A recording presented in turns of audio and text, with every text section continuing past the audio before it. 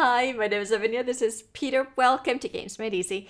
Today, I want to teach you and give you tips on how to play Gaia Project.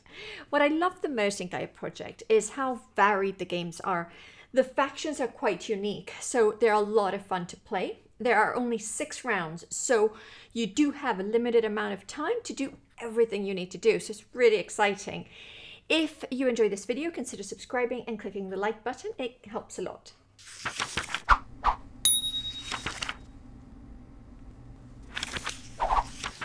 In Gaia Project, you play a faction striving to peacefully settle in the Terra Mystica galaxy by making planets around you habitable. To do that, you need to build mines and upgrade them into better structures. At the same time, you will also form federations and discover new technologies to improve your skills and gain more rewards. After six rounds, you add the points you've gained throughout the game with the end of game rewards. The player with the most points wins the game. Let me start by showing you the components and how to set up the game, starting with your player board.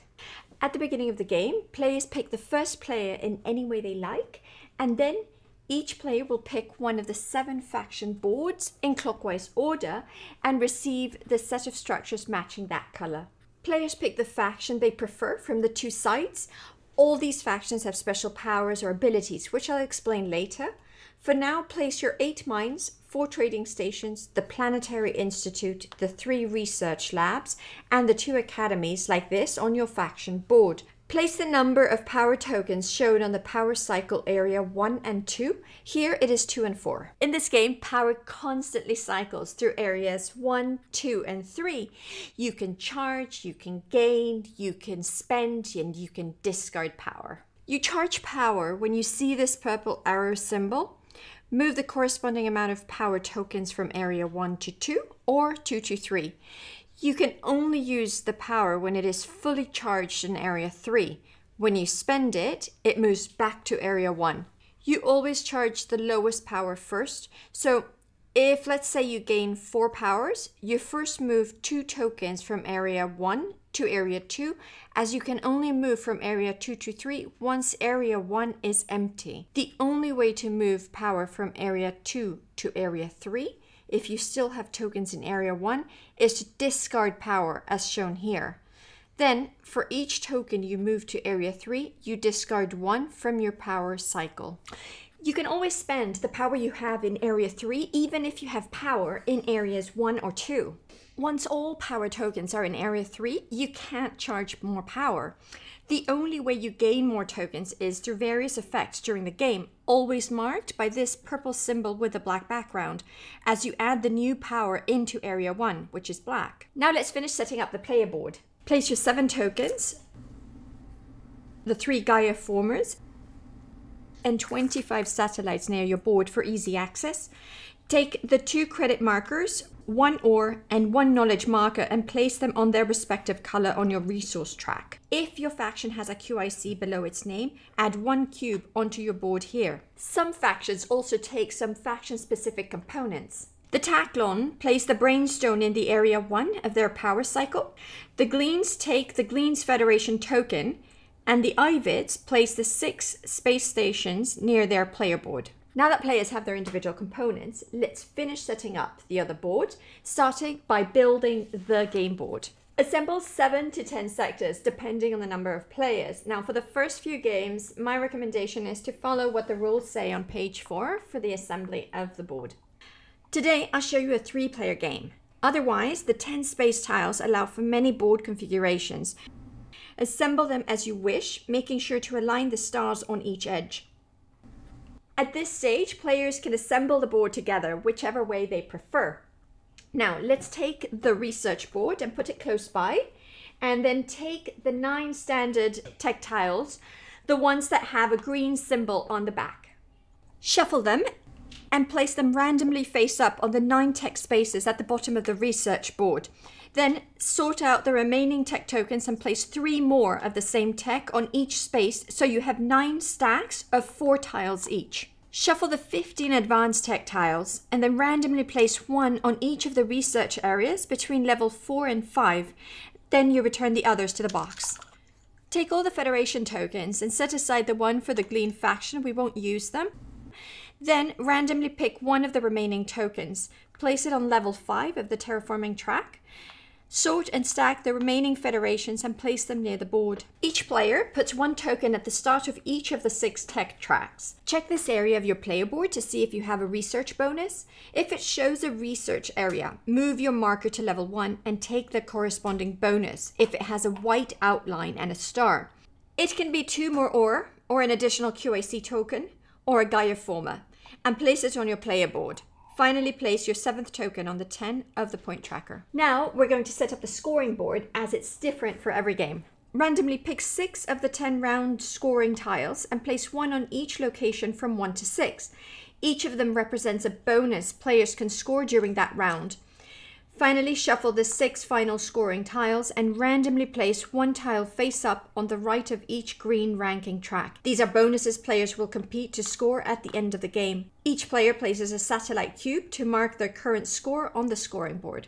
Keep the QIC, the power, the record, the action tokens, and the lost planet nearby for easy access. Now it's time to have a look at the round boosters. There's a total of 10 round boosters in Gaia Project. They provide additional abilities which can be used either at the beginning, the end, or during the round. Randomly select three more round boosters than there are players, so today, six round boosters for this three player game.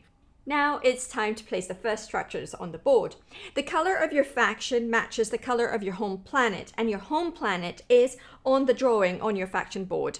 Brown are swamps, red are oxide, black are titanium, blue are terra, yellow are desert, white are ice, and orange are volcanic planets. For your first few games, I recommend you follow the setup in the rulebook on page 7. It tells you uh, factions and where to place your first mines on a 2, 3, and 4 play game. Otherwise, starting from the first player and in clockwise order, each faction places one mine on any home planet that is matching their color. You take the mine from your faction board, always picking from the leftmost first. Then the last player places a second mine, and going counterclockwise, each faction places their second mine so that the first player is the last to place the second mine. Two factions have a different starting condition. The Xenos place their third mine last, after all players have placed their second mine. And the Ivits place last, even after the Xenos, and only place their planetary institute on any red planet. Now that we've set up the game, let's have a look at what makes each faction unique. Depending on your home planet, here you can see how similar other planets are to your home planet and how much terraforming is required to occupy it. Then here is your starting bonus on the research board.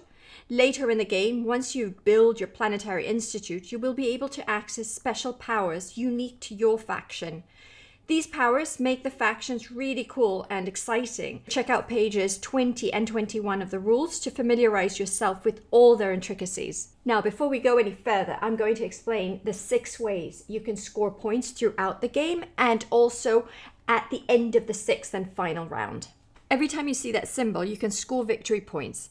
Each of the six rounds have a scoring tile which gives you points for specific actions during that round. Some standard techs also award victory points, like this one to score 7 points once, or this one every time you build a mine. All these advanced techs also let you score points, these as you pick them up, and these during your turn, and those at the end of your turn. You also score 12, 8, 7, or 6 victory points when founding the federations. Five out of 10 round boosters reward specific buildings completed when you pass. It can be your number of mines, trading stations, research labs, or planetary institute and academy, or structures on Gaia planets. Players also score if they are on the third, fourth, or fifth level of a research track. You score 4 points at level 3, 8 points at 4, and 12 points of each marker at level 5. This can give quite a lot of points. At the end of the game, you can score two end of game scoring tiles. They can reward the top three players for building the most structures, the most satellites, the most federations on the most different planets or space sectors or structures on Gaia planets. Now we are ready to start playing. Yay! Each player will pick a round booster starting from the last player and proceeding counterclockwise so that the first player picks last. Every time you see an open hand symbol like this, It means you score this at the beginning of the round during the income phase, and the red symbol like this is scored at the end of the round once you pass.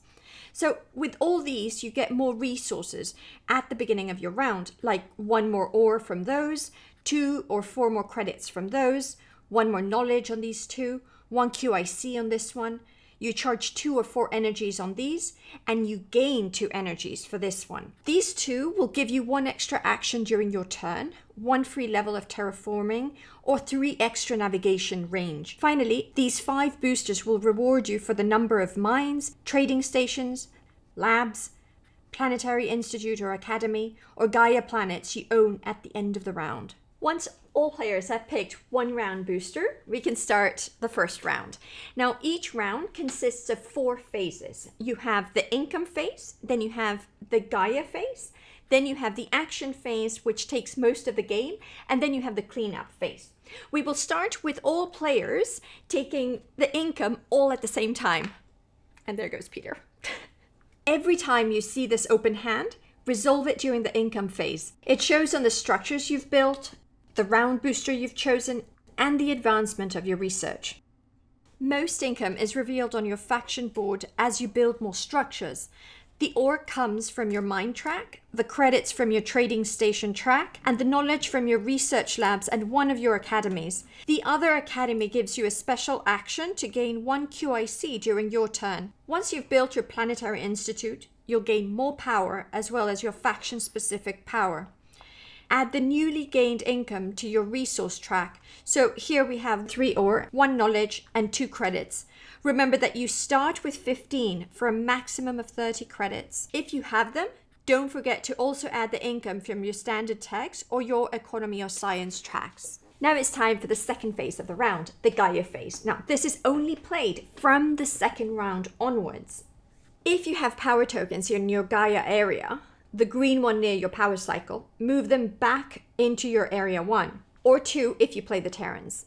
If one of your Gaia formers is on a transdim planet, place a Gaia token on that planet. The Gaia former will remain there until you build a mine on that planet. Now it's time to look at the third phase of the round, the action phase. This is where we're going to spend most of the game. Starting from the first player, each player takes one action at a time. There are eight possible actions and they are all described in this overview card, but we're going to have a look at all of them now. The first action you can take is to colonize a new planet and build a mine. The mines are the only structures you're able to build. Any other structure are upgrades from these. You can only build mines on planets without a structure, which are accessible and which are habitable. A planet is accessible if it is adjacent to a planet where you already have a structure or if it is within your navigation range. You can also spend QIC tokens to increase your range by two spaces for each QIC spent. You start the game with a navigation range of 1. So if you use 1 QIC, you could reach planets 3 hexes away. Or if you use a plus 3 range, you would reach planets 4 hexes away. Now let's have a look at how to make a planet habitable. Planet is habitable if it is your home planet type. If it is not, you will need to pay to transform it. Refer to your faction board to see how much you need to transform that planet. That cost is one, two, or three terraforming steps, depending on the planets you transform, and you buy each terraforming step by spending three, two, or one ore, depending where you are on the terraforming track. You can gain terraforming steps from round boosters, special powers, basically wherever you see the symbol. Now, you can add them together as long as they don't come from two separate actions. Also, if, for example, you need one terraforming steps and you have two, you will lose the leftover. Once you've paid to terraform the planet into your home planet, you can build a mine on it. This is part of the same action, and you need to pay the cost of the mine, which for most factions is one ore and two credits. Remember to always take the leftmost mine available from your faction board. So to build a mine, you must be able to reach it, to transform it, and to build in the same turn. Now, let's have a look at three planet types that are not home planets and work a little bit differently. Those are the Gaia planets, the Transdim, and the Lost Planet. When you reach the fifth level of the navigation track, you discover the Lost Planet. Place it within your standard navigation reach on an empty hex. It comes with your mine already built in, to remember it's yours, place a satellite cube on it. It won't count in your satellite count, but will count as a structure and as a new planet type. Let's look at the Gaia planets. You can build a mine at the standard cost. You don't need to transform it, but you will need to pay a QIC to do so. Finally, you have the transdim planets. You cannot build directly on them or terraform them like other planets. You first need to have transformed the transdim planet into a Gaia planet and have one of your Gaia formers on it. You can later replace it with one of your mines, when you do, return the Gaia former to your player board, pay the normal cost of the mine without any extra QIC this time. Now, the second action you can take in the game is how to transform a Transdim planet into a Gaia planet using the Gaia project. To start a Gaia project, you must first be within navigation range of an empty Transdim planet with no Gaia former on it. Then you need to have a Gaia former already on your player board. You gain the Gaia formers from the Gaia project track on the research board, the first at level 1, then one more at level 3, and the third one at level 4. Finally, you need to be able to spend the necessary power. At first, it costs 6 power, which you move from any power area into your Gaia area. Later, when you reach level 3 and 4 of the Gaia project track, it gets progressively cheaper, down to 4 and 3 powers respectively. And that's the end of the Gaia project action. Note that the Gaia former does not count as a structure, so the planet is not yet colonized, so it won't count towards the planet type or the number of structures. Now, let's have a look at the third action on how to upgrade your buildings. Every other structure upgrades from the mines. You can see on the board what is the next upgrade possible. Mines upgrade into trading stations, which can upgrade into a planetary institute or research labs, while research labs can only upgrade into academies. Pay the cost indicated on the board, put the old building back on the faction board, and take the leftmost new building. For the academies, you can choose the one you want to place first. The cost of trading stations can vary. If the upgraded mine is next to the structure of an opponent, the trading station costs half the credits. To be next to a neighbor means to be adjacent or within two spaces away from a neighbor. If you're too far, pay the full credit cost. Also, the Planetary Institute gives access to a faction specific power. Remember that upgrading a building changes your next income production. Finally, when upgrading into a research lab or academy, you also gain one tech immediately. These techs give you various benefits that will remain with you until the end of the game. Pick the tech that you want, and you will also go up in one of the tracks. If you take one of those six techs, you go up the track immediately above it, However, if you pick one of these three tags, you can go up any track. The tags are very powerful and let you gain better income or give you immediate benefits like 7 points, or one ore and one QIC, or increase the power value of your academies and planetary institute up to full power points whenever you place a mine on a Gaia planet later in the game. It can also give you a new power action or knowledge based on how many different planet types you've already colonized. Note that you can pick each tech once per game, so choose carefully. And just like you pick a standard tech, you could decide to pick an advanced tech if you meet a few more conditions. You must have a research token on level 4 or 5 near the tech you want to pick. You also need to have a Federation token with its green side face up. The 12 victory points does not work for this. You also must have at least one uncovered standard tech tile as you will need it to place your advanced tech on top of it. Now don't forget that like with any other tech, you should go up one level when you take an advanced tech. You can do this in any tech track you want there's only one of each advanced techs, so it's whoever claims it first. Now, have a look at the back of the rule book to see what cool things they do. Now, the fourth action is how to form a federation. Let's have a look at that. Federations are founded automatically by combining the power value of buildings up to seven. You can see on your player board that each structure has a power value. Mines have a power value of one, trading stations and research labs two, and the Planetary Institute and academies the highest value of 3. Remember that if you have that tech, your academies and planetary institute are worth 4 instead of 3. To connect your buildings, place satellites between them using as few satellites as required. Use the least possible number. Pay for each satellite by taking one power out of your player board. If you don't need any satellite, place this marker. Note that to build a new federation after that, you need to build from structures at least one space away from the previous federation.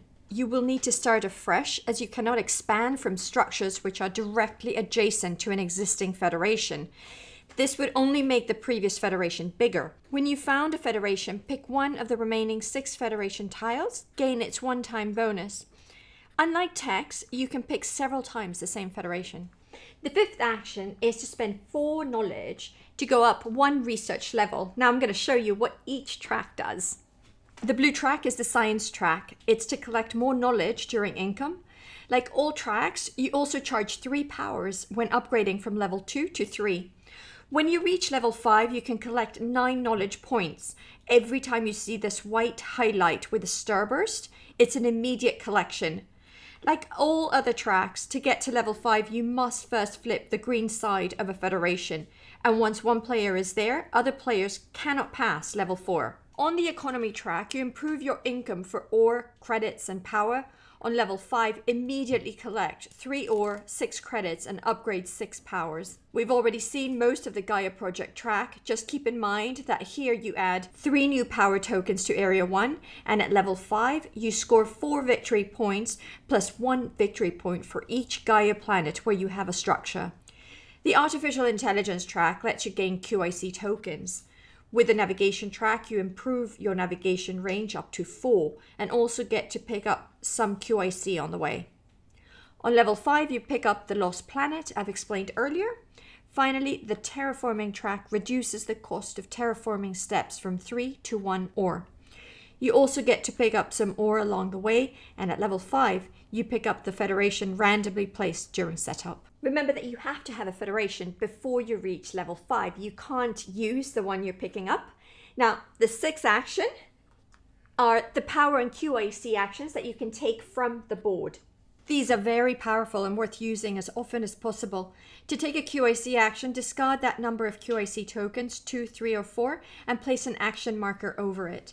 For the power actions, move the number of power tokens indicated here from area 3 to area 1. They are used once per round on a first come first served basis, so place a marker on it once you've taken it. Remember that you can charge power that you need through the income phase with round boosters, some standard techs, and when you found a federation. You can also do this with two free actions, sacrifice and conversion, which lets you charge or gain power and you can do this and it doesn't count as an action. As shown here, you can sacrifice power to charge power from area 2 to area 3. For each token you move this way, you discard one token from area 2. All the conversions are shown on this chart on your faction board. Like for instance here you can spend 4 energy to get 1 QIC. You can also spend 1 QIC to increase your range plus 2 or you can spend 1 ore to gain 1 energy. You can perform as many free actions as you want either before you take your action or after but you cannot do this during the income or Gaia phases. Now, another important rule to note uh, regarding power is that you may decide to charge power when one of your neighbors builds or upgrades a structure. Now, this will not depend on what they are doing, but it will depend on the structures that you have. Now, let me explain. When your neighbor builds a structure directly adjacent or one space away from you, you can choose to charge power. That power is based on the power value of your buildings. So, for instance, the blue player builds a mine here, so the brown player can charge 3 energy from his academy. But that power costs victory points, one less than the energy charged. In this other example, blue upgrades and brown has two buildings in range. He must pick his highest value building. Here, he would charge two energies and lose one victory point. Now, if blue had built a mine here, it'd be great for brown as he would charge one energy for free. Players always have a choice to take that power. It's never mandatory. Also, the player who is building does not get the benefits. It's only the other players who gain the power. And it's not one of those where you have the option to take partial power. It's an all or nothing. Now, let me show you the seventh type of action, which is the special actions. You get them during the game from these two round boosters, this standard tech, those three advanced techs, this academy, and some planetary institutes. They cost nothing and can be played at any time once per round. The eighth action is when you don't have any more action to take or you want to pass. That's the end of your round, and you can't take any more actions. The first player to pass will take the first player marker for the next round. At the end of your round, immediately return your round booster. Don't forget to score the end of round victory points, if any, and pick one of the available round boosters. You cannot pick the booster you've just used. Flip your new round booster until the next income phase to show you have passed. This marks the end of your turn. Note that you can keep as many resources as you want from the previous round. Once all the players have passed, you start the fourth and last phase of the round, the cleanup phase. Turn this round's scoring tile face down. Refresh all the action tokens from the research board, your player board, your technologies. Flip back your round booster and take a new action marker if needed. After all this, all players can take the next round's income phase. Let me tell you about a different end of round rule, which I think is better. In the standard rules, the playing order is set in clockwise order starting from the first player who passed. That is not necessarily fair because it doesn't match the actual order the other players passed. Instead, you can keep track of the passing order by using this turn order card. When a player passes, they shift their token to the other column on the topmost available spot. The next turn will follow that turn order. To make sure you understand that this game isn't that complicated, let's run through a few turns. It's Brown's turn and he upgrades the research lab into an academy. Blue could also charge two powers and orange three, but they both refuse. Brown takes the four credit income technology and goes up one level on the QIC track and collects two QIC tokens and charges three powers. Orange goes second and spends one QIC token to add plus two to its navigation range, then spends power to buy the two terraforming special action to transform this planet and build one mine for one ore and two credits. He goes up this end of game tracker and scores a round bonus of two points. Then it's Blue's turn, and he decides to transform his Gaia Former there into a mine, and returns the Gaia Former to his board and adds to his end of game tracker and two points for the mine. Brown, with his navigation range of 4, reaches this planet and builds a mine, also scoring 2 points from the round bonus and up the end of game tracker. Orange upgrades his lab into an academy and picks up this technology, which makes him move up one level this track and picks up one QIC. The blue transforms this planet with 3 ore and builds a mine paying 1 ore and 2 credits. And he also scores the round bonus and goes up the end of game tracker. Brown refuses to charge three powers as he doesn't want to lose two points. Brown spends three QIC to repeat the benefit of this 12 victory point federation. With his newly acquired upgrade, Orange now has seven points here and can found a federation, placing two satellites, discarding two power tokens, and taking this federation token. Takes one QIC and scores eight points. Blue decides to pass, returns his round booster, scores the end of round bonuses, and picks up a new booster. The other players keep taking actions until everyone has passed. Now let's look at a possible end of game scoring. Now on the research board, the brown scores 12 plus 8 plus 12, that's 32 points. The orange has 16 points, and the blue has 8 points.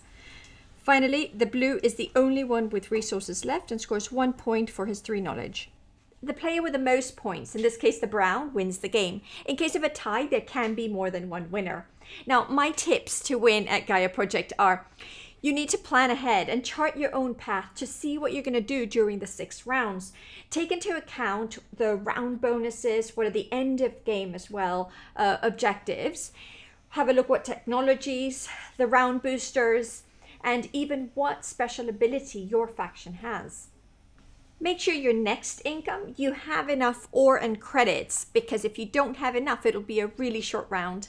Gaia projects are tricky and they cost time and power, so just make sure that you're going to really benefit from them. To get your economy running, you need to put structures on the map, so try to expand early. Also, the economy track is a very good source of income as well. Not only do neighbors make your trading stations cheaper, they can also give you a lot of passive power. So don't stay too isolated. Later in the game, you may start running out of structures. So keep an eye on what you want to do and that you have the structures to do it. Have a look at synergies that you can find. So, for example, in some instances, you might have uh, round bonuses that match really well with the technologies, and you can really make a lot of points that way. So that's how you play Gaia Project. It takes a little bit of time to learn all the rules, but once you know them, it's quite easy to play. It's got a lot of depth of strategy. It's one of the most competitive games, although there is no battle in the game, and it's just a lot of fun. If you've enjoyed this video, consider subscribing, and if you enjoy my content, consider supporting me on Patreon. The link is right here. We'll make more games easy soon. Bye now.